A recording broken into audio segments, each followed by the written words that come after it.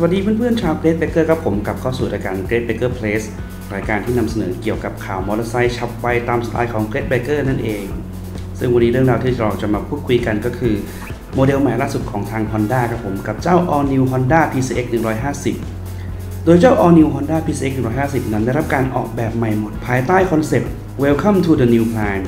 สัมผัสความภาคภูมิใจครั้งใหม่ด้วยเอกลักษณ์ แห่งงานดีไซน์ผสมผสานความหรูหรา โดดเด่นด้วยระบบไฟ LED ดีไซน์ใหม่รอบคัน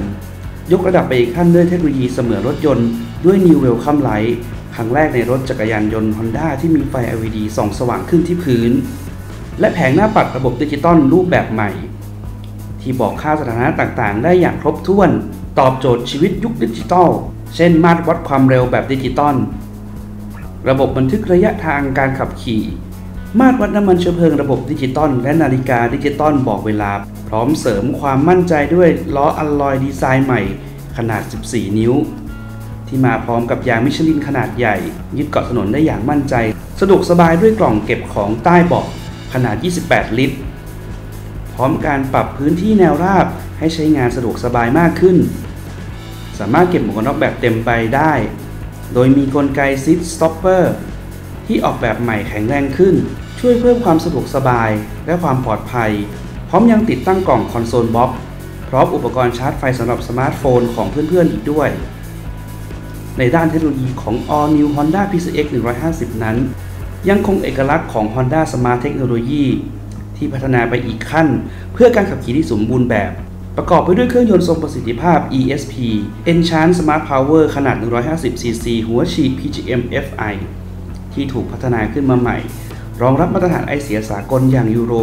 4ให้สมรรถนะความแรง และอัตราการประหยัดน้ำมันที่คุ้มค่า